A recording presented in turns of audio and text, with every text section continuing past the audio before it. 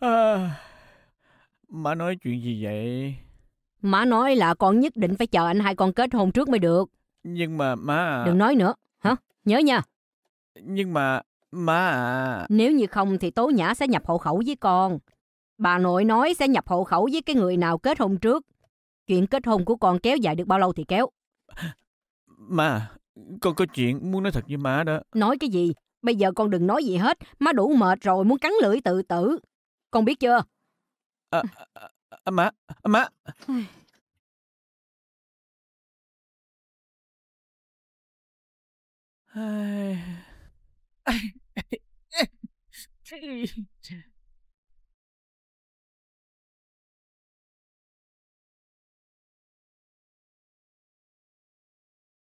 Thiền Châu, nếu như tôi nhận nuôi đứa nhỏ thì sao? Lần này chị thực sự mang thai? Không phải, không phải con tôi. Là một đứa nhỏ 5 tuổi. Anh đã có con rồi. Không phải là con của anh vũ trụ. Chứ chị nói gì đây? Là con của em gái ảnh. Nếu như tôi nhận nuôi, má có chịu không ha? Tại sao chị phải nhận nuôi đứa nhỏ? Vì cổ không có chồng. Ồ. Oh. Nghĩ coi, má tôi có đồng ý không?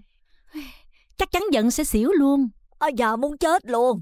Ôi dạ tôi muốn chết rồi. Ôi trời trời má, ơi. Má sao vậy? Bà chủ. Ôi, ôi dạ.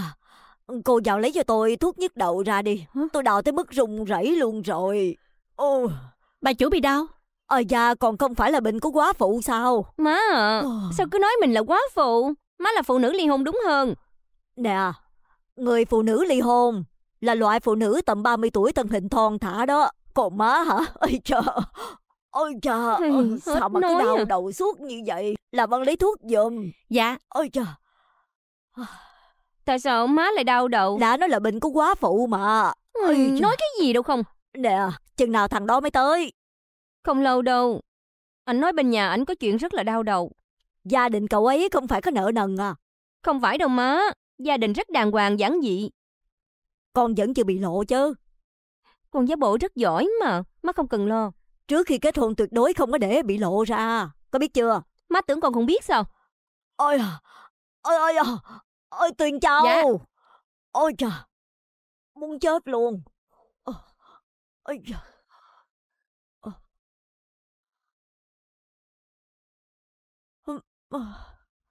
Nè tin à, điện thoại của cháu reo bà giúp cháu nhận máy rồi đó. Là cô giáo ở nhà trẻ của Tố nhà. Ừ. Dạ thưa cô giáo. À, tôi là má của Tố Nhã. Sao? Vậy là có ý gì? Xử phạt hành chính là sao cho cháu? Là bởi vì Tố Nhã không có giấy khai xanh. Cháu phải xin cô rất lâu cô mới nhận con nhỏ. Kết quả bây giờ phải kiểm tra, cô nói không còn cách nào. Vậy phải làm sao? Có thể để tới ngày hôm nay, ngày mai bắt đầu phải tìm một chỗ khác rồi. Ôi trời đất ơi, bây giờ làm sao chứ cháu? Sẽ tìm được chỗ khác tốt hơn thôi. Sẽ rất lo lắng đó. Bà, sao tối hôm qua Tố Nhã nó lại bị đau bụng chứ? Nó vẫn không có đi vệ sinh được, vẫn cứ đau bụng tới mức toát mồ hôi hột luôn đó cháu có biết không? Tại sao nó cứ nói là bị đau bụng hoài à? Đám nhỏ lớn lên như vậy, các cháu cũng vậy mà. Dạ, cháu đi nha bà. Cháu vẫn chưa có ngủ mà. Cháu ngủ rồi mà.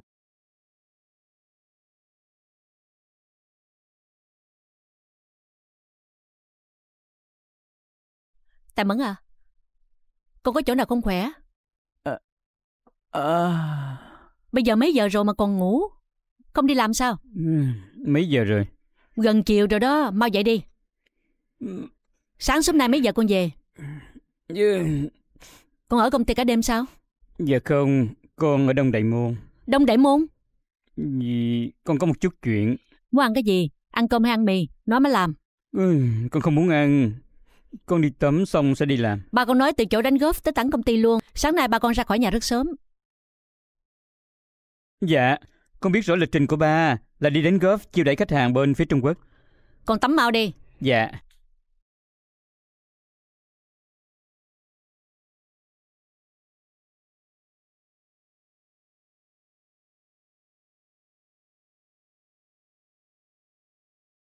Tôi Nhã.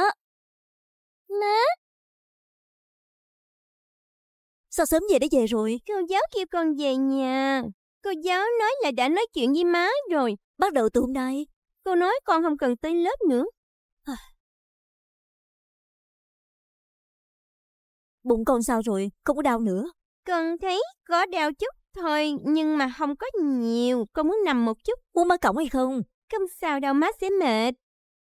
Phim88.com xin hân hạnh giới thiệu đến các bạn bộ phim này. Tố Nhã, tuần này con hãy nghỉ ở nhà nha. Tuần sau con sẽ tới một trường mới tốt hơn và chơi với bạn mới, có được không?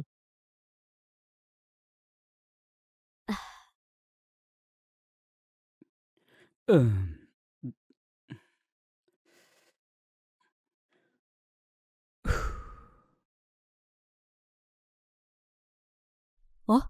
Ông xã, không phải là ông xã nói tới thẳng công ty ờ, sao? Ờ, sao Tài Mẫn lại không tới công ty như vậy hả? Ờ, nó đang tắm. Anh về để đón con hả? Ờ, không phải, không phải. Anh về thay quần áo. Tối nay có cực hẹn nên phải mặc đồ vest nào đẹp một chút. Kêu Tài Mẫn tắm xong, lên xe chờ anh. Anh có chuyện muốn nói với nó. Anh đi làm chung với nó hả? Ờ, Có cần em giúp anh lấy quần áo? không cần, không cần. Tố Nhã, con vào nhà đi. Má phải đi làm nếu không sẽ trễ.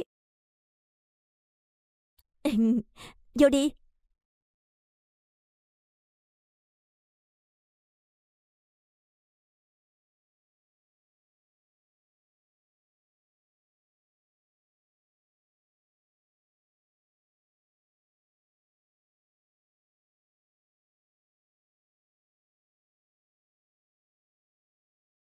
Không phải tôi nói sẽ gọi điện thoại. Hiện giờ tôi đang ở nhà. Cúp máy đi. Ông xã, Ờ, ờ. À, anh đang thay quần áo. mặc cái này nè. Ở bên tiệm giặt vừa đem tới. Ờ. Ờ. Ừ. Ờ, được đó.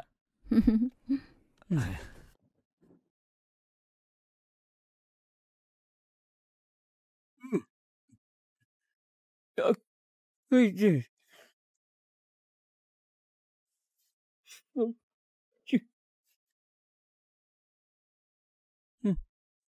Ôi. Mới có một ngày mà ốm đi quá nhiều. Cũng là tại cổ thôi. Dạ, chào cô. À, tới rồi hả? Vô đi. Trong phòng ngủ và phòng chính đều đang có người. Ừ. Lau sạch tủ lạnh trong bếp trước đi. Dạ, cháu đi thay quần áo trước.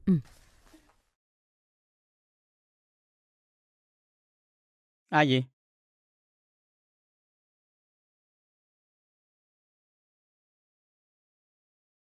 Ai đó? Con đang làm cái gì? Mau ra đây đi. Ba à. Đi đi, mau. Ông xã, Ờ, được rồi, được rồi. khăn tay ông xã. Ờ, Ông chủ từ từ đi. ờ, ờ, được rồi.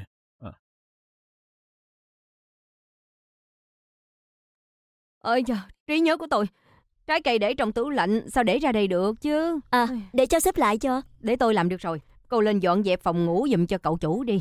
Dạ.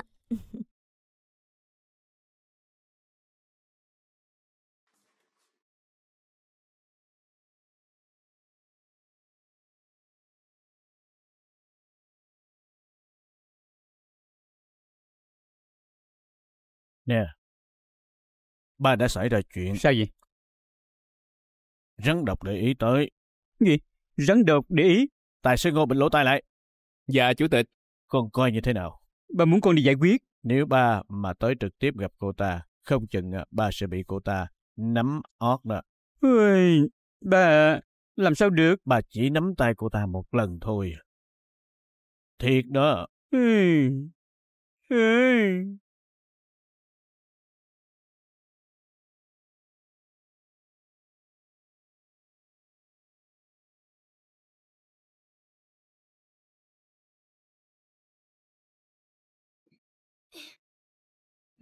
Cái gì? Cô nói sao? Tất cả đều bị bán hạ giá hả? Đồ của tôi phải làm thế nào? Những đồ đó của tôi bây giờ phải làm sao?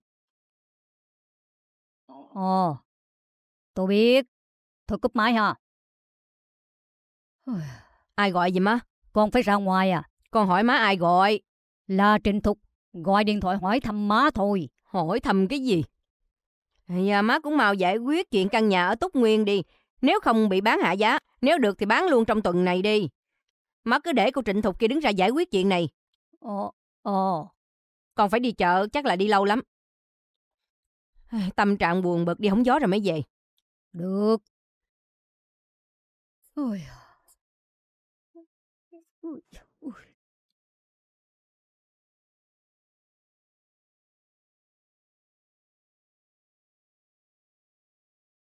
Ôi. Ôi. Ôi. Ôi. Ôi.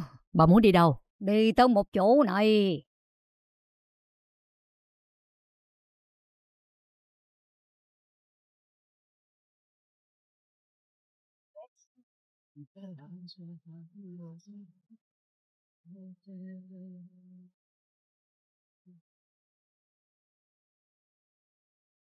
Ôi.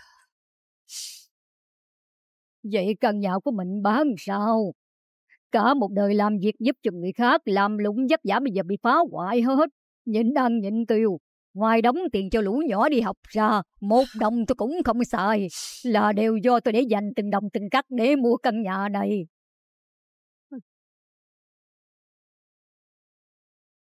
Ây chà, tôi đã nói rồi, chủ nhà không có ở đây. Tại sao đem dục bỏ hết đồ đạc ở trong nhà ra ngoài? Tôi cho các người biết. Hả? Làm như vậy là không có đúng. Tại sao? Ờ, nói đi, sao các người có thể làm ra chuyện như vậy? Trời đất ơi là trời! ơi cha! Ờ.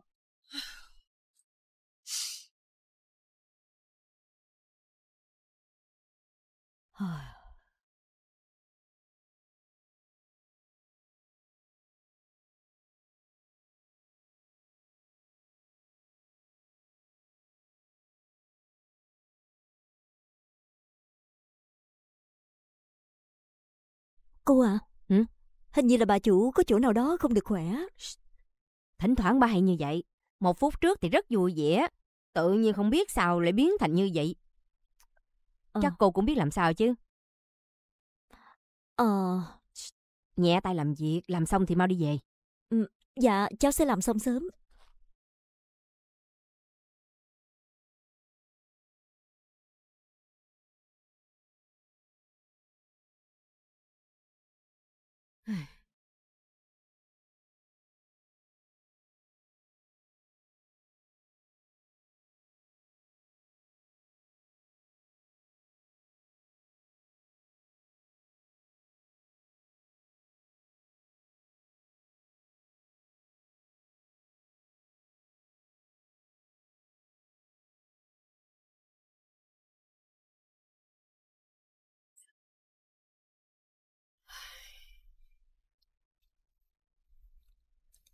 Không biết đi đâu nữa. Trung tâm mua sắm cũng đi chán. Massage thì cũng đi hoài.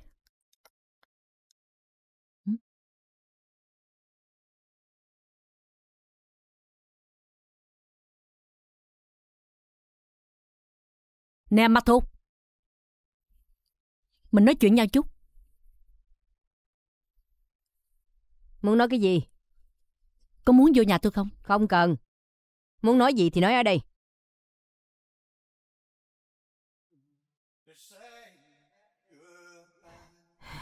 Nói đi. Tôi đã từng nghĩ rằng tôi đối với bà không bao giờ tôi coi thường bà. Là thật đó. Nói vô chuyện chính đi. Nhưng mà lúc học cấp 3 tôi thật sự đã từng vậy sao? Nói cái gì? Lúc đó bữa cắm trại tôi đã làm cái gì? Nè Trịnh Thục Hy. Bởi vì tôi không nhớ ra. Không phải có nhớ chút mơ hồ gì mà thực sự tôi không nhớ ra nổi. Sao tôi có thể từng làm như vậy được? Bà nói vậy nghĩa là tôi đã đổ quan cho bà. Cũng không có hẳn. Nhưng mà cũng gần như vậy. Đã qua một khoảng thời gian rất là lâu có thể trí nhớ của bà có vấn đề. Có vấn đề. Bà đừng có nói chuyện khó nghe quá. Bà là người có ăn học sao nói ra những lời này. Bà học hành tốt sao? Bây giờ bà muốn nói cái gì đây? Má của bà, trong gia đình tôi đã chăm sóc tôi 15 năm trời. Nè, bộ sợ tôi không biết cho nên mới nhắc lại với tôi lần nữa hay sao? Tôi không biết tại sao bà lại ghét tôi đến như vậy. Tôi là vì muốn xin lỗi cho nên mới nói chuyện với bà. Mặc dù tôi không nhớ rõ, nhưng nếu thật sự trước mặt bạn bè tôi nói là bà mặc quần áo của tôi, thật sự tôi đã nói chuyện má của bà làm giúp việc ở gia đình tôi, bà... Ờ, ờ, Nè, không phải bà muốn hất nước cho mặt tôi. Nè, tôi đã cướp chồng của bà hay là mắc nợ tiền của bà chứ? Tại sao bà có thể hất đứt lên người của tôi? Không phải muốn xin lỗi à? Thái độ này của bà là sao? Thái độ? Tôi thật sự không nhớ ra được. Sao tôi có thể làm loại chuyện như vậy? Sao tôi có thể là người không có nhân cách? Bà không biết hả? Nè, cái này gọi là muốn xin lỗi hay sao? Bà nên xin lỗi tôi. À, bà, bà nói cái gì? Sao bà có thể nói lời như vậy với bạn cũ của mình? Bà đã nói tôi bị báo ứng. Bà xin lỗi tôi đi. Tôi cũng không nhớ chuyện trước kia. Đúng, bà nói là bà bị tổn thương, vì vậy tôi đã xin lỗi. Nhưng mà những lời bà nói với tôi thì cả hai đứa đều nhớ rất rõ. Vì vậy hãy xin lỗi. Sao bà có thể rủa tôi như vậy được chứ? Tôi thật sự không muốn qua lại với bà nữa. Ừ, qua lại? Qua lại sao? Sau này nếu như gặp lại tôi thì cũng giả bộ như là không quen biết. À không, cho tới ngày chết cũng đừng có xuất hiện trước mặt của tôi. Nào, trước kia thì tôi cảm thấy những lời của bà nói thật sự cực đoan. Bà có biết như vậy không? Bây giờ còn dám dạy đời tôi. Lo bản thân của mình cho tốt đi. Phải, cuộc đời của tôi rất cực đoan. Vì rất cực đoan tôi cũng có thể nói như vậy thôi à. Còn cuộc đời của bà thì tốt đẹp. Cứ tiếp tục nói những lời dễ nghe tao nhã. Cứ sống cuộc sống vàng son đi. Được chưa? Nhớ đó.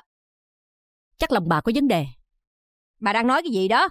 Tôi cũng có nỗi khổ của tôi. Bà nghĩ rằng tôi chỉ có những chuyện vui vẻ hạnh phúc hay sao? Bà nói ai sẽ bị báo ứng thiệt là ác mồm ác miệng. Tôi không để ý tới bà nữa. Đưa cho tôi. Đưa cho tôi. Đưa cho tôi.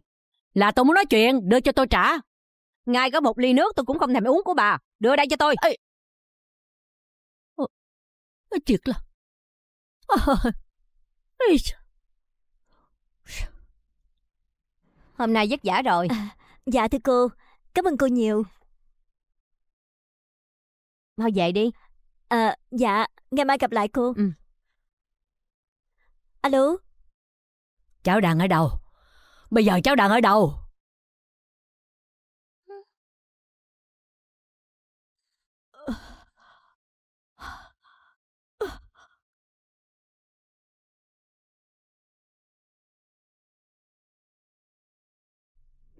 Hmm, phải gọi lại một lần nữa hay sao? Hey, phiền muốn chết nè. Không được. Chỉ một ngày. Mình sẽ đợi tiếp một ngày nữa. À.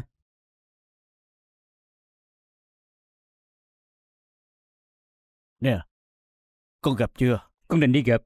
Chừng nào? Thật sự là chỉ nắm tay thôi sao? Ba đã nói khi nằm mơ có một chút. Cũng chỉ là ba nắm tay cổ thôi, cổ tay thôi. Ba à, ba phải nói rõ mới được.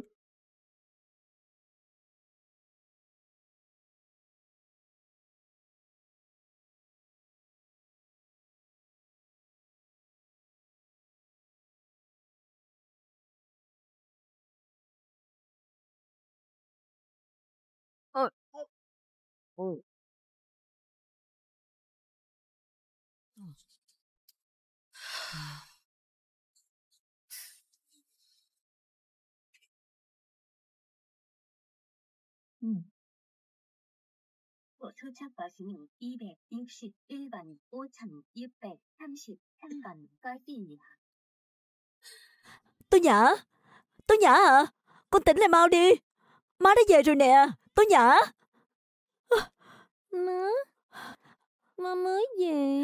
Con bị sốt cao tới độ này, rốt cuộc là có chuyện gì đây? Tại sao lại không gọi ờ, cho nè, má? Nè nè nè nè, nước đây nước đây. Cho nó uống chút nước mát đi. Dạ. Nè, dùng khăn lạnh lau.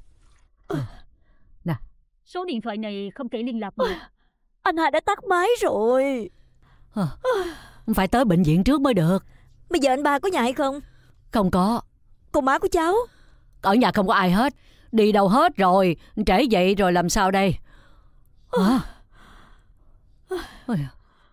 Hả? Ờ, ờ. Nè nè nè nè nè. Tới bệnh viện gọi điện về cho bà hả? Ờ. Nếu bà liên lạc được với anh hai thì kêu ảnh gọi điện cho cháu nha. Ờ ờ được rồi. Ờ Ôi dạ. ôi ôi da mồ hôi đầy hết. Ừ, ướt hết rồi. Ôi ôi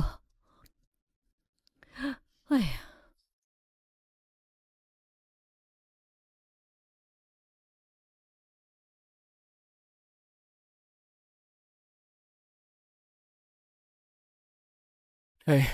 đã tới bệnh viện nào vậy? Ờ, chắc là tới bệnh viện của anh hai nó. Ờ, má mấy đứa nhỏ đâu? Má không biết, nó là đi chợ tới giờ chưa có về nữa. Vợ của con thì sao? Má nói má không biết. Ây à, thần tình, không trả lời điện thoại. Ôi, Phim88.com xin hân hạnh giới thiệu đến các bạn bộ phim này.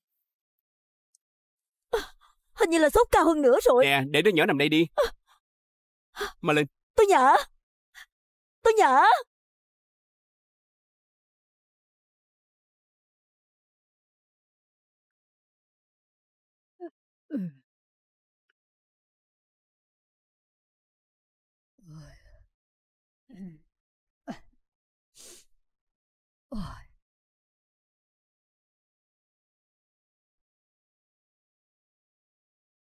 Ôi, à. thiệt là đã hết sạch rồi. Vũ Điểm Thuận, bà sống tới 73 tuổi, mà chỉ có ba bọc đồ này sao?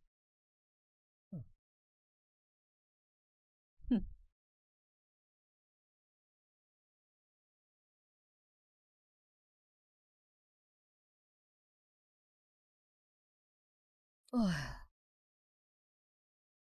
Tôi thiệt nhớ tới má của tôi quá. Má của tôi, nếu còn sống sẽ bao nhiêu tuổi đây? Bây giờ cả diện mạo của bà tôi cũng không nhớ nổi nữa. Ây thiệt là, ây, cha chóng mặt quá. À, bà đám nhỏ đã mất, sao ông lại thanh thản như vậy? Ôi dạ đúng là quan gia. Vì bản thân thoải mái mà đem trở thành người đàn bà quá phụ. Ôi da, sao kẻ quan gia kia lại rời bỏ tôi? Ôi trời, dáng vẻ của ổng thì có còn không già đi gì hết. Ôi da.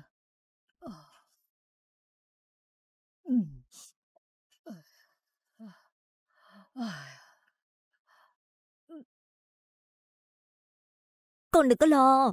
Má sẽ ở đây đợi con mà. Tối nhà của má chỉ cần ngủ một giấc rồi sẽ không thấy đau.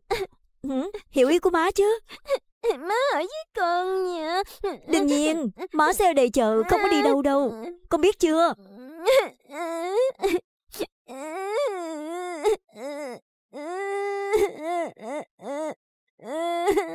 Tôi nhỏ, con chỉ cần ngủ một giấc rồi tỉnh lại sẽ khỏe ngay. Con biết chưa?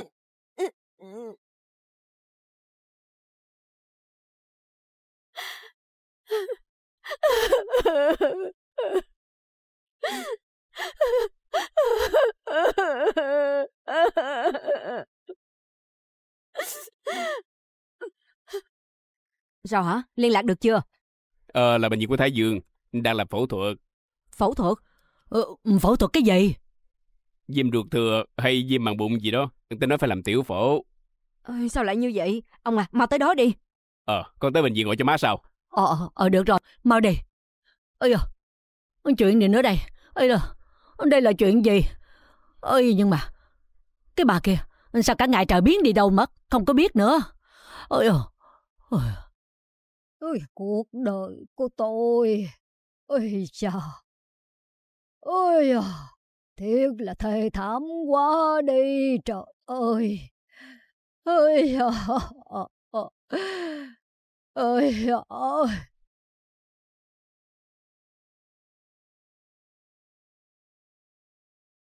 Có lúc đau, có lúc không đau, cho nên con đâu biết là bị bệnh. Con bị đau như vậy nên nói cho má biết mới đúng chứ. Ruột của con có bị mưng mủ cho nên cuối cùng đã bị nhiễm trùng.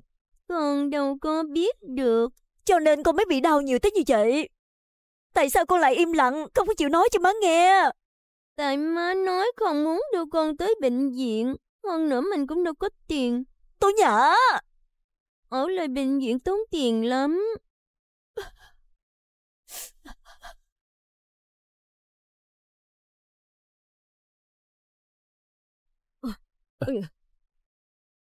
Thần tình, Thần tinh. Má.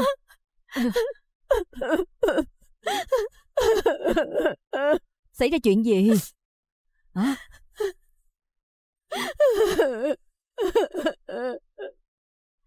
Được rồi, đừng có khóc nữa.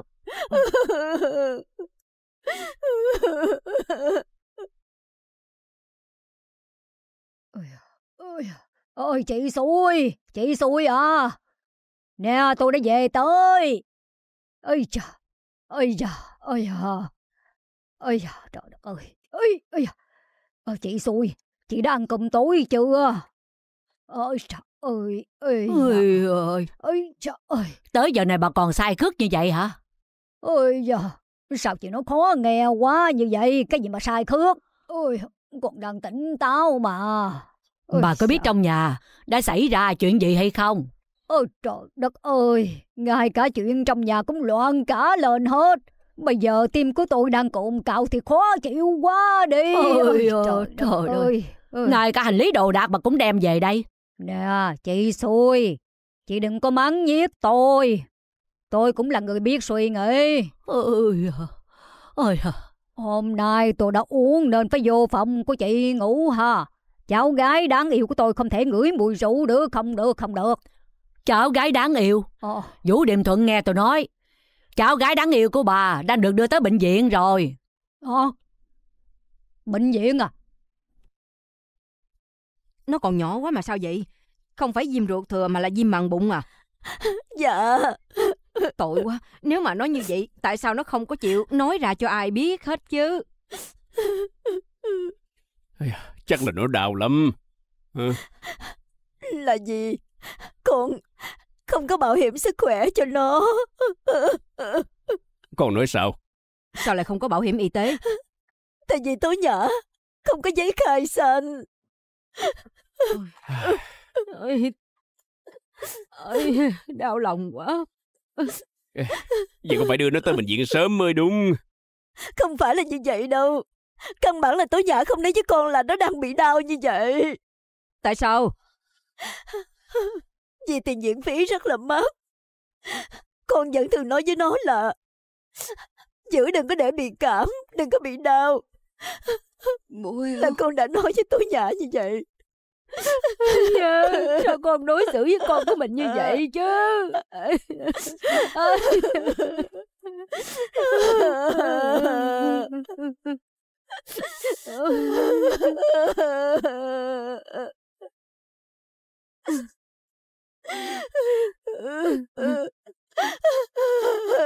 Đừng khóc nữa.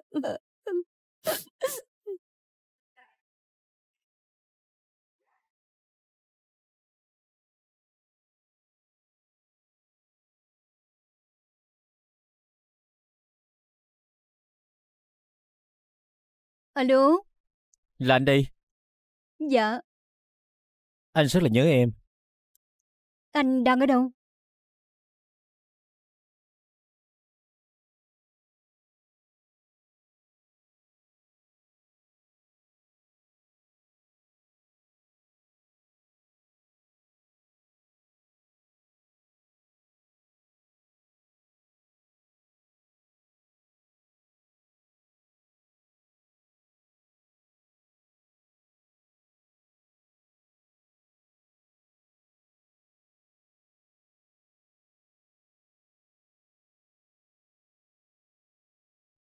Anh ở đây để làm gì?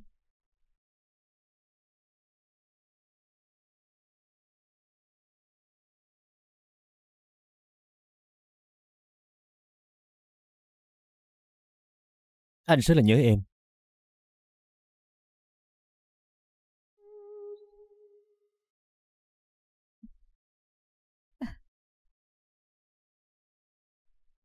Được gặp em. Thì là tốt. Anh tắt điện thoại làm em nghĩ là anh đã xảy ra chuyện gì nữa chứ. Em lúc nào cũng luôn lo lắng cho anh.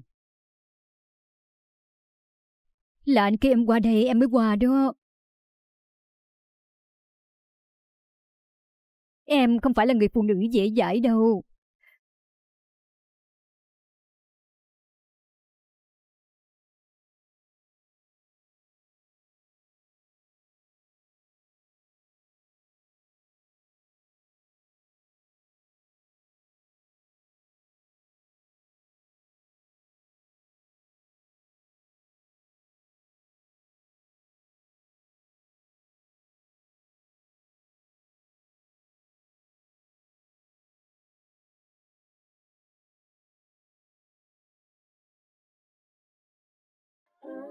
Ở một nơi vắng vẻ như vậy Nên nắm tay tận bộ mới đúng chứ Có phải không?